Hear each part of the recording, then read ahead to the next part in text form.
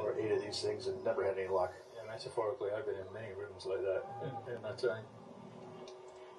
Young, watch the little pause at the top. There's a PGA golf coach. You put that in there just to give the arms a chance to get back into position before the separation on the way down. He's got a fantastic golf swing, that's for sure. No question is his talent. I just want to see him realise a little more of it. He's such a serious young man. I'll get a second shot on the way at one.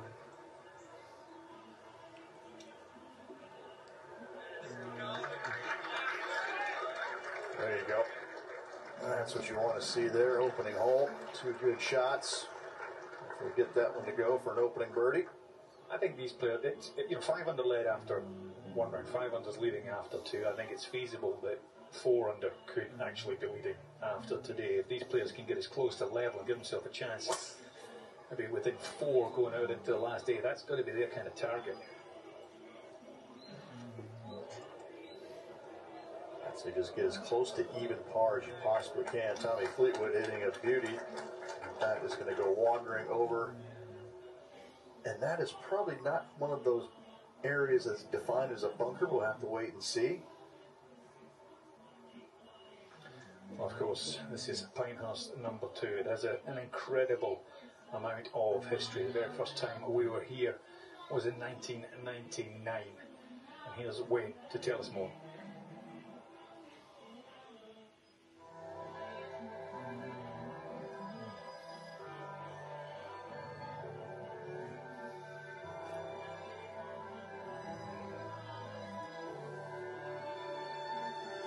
Just a great place to get yourself a photo opportunity with the late, great Payne Stewart in full pose. Have a look at him. The flat cap, the plus fours, and Payne on his golf shoes, he always had a shiny little bit of steel around the toe. You can see it here on this statue. I was so very lucky to know Payne Stewart so very well. He spent a lot of time in Australia, being married to an Australian lady who I knew as well, Tracey.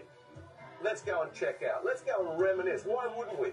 What happened? What unfolded here at Pinehurst number two? 25 years ago, Payne Stewart came up the week before. He wasn't in great form. He came up here to Pinehurst number two the week before and chipped around from a sand iron to a lob wedge to a three iron, conjuring up shots, working out where he can't miss it.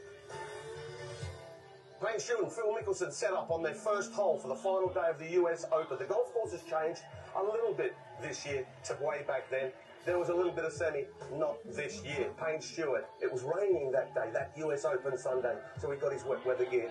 Didn't like the sleeves. Scissors, chopped them off. It's the only championship Payne Stewart ever played using a yardage book. He always relied on his caddy. Let's go and check out some of the key shots that made him a US Open champion.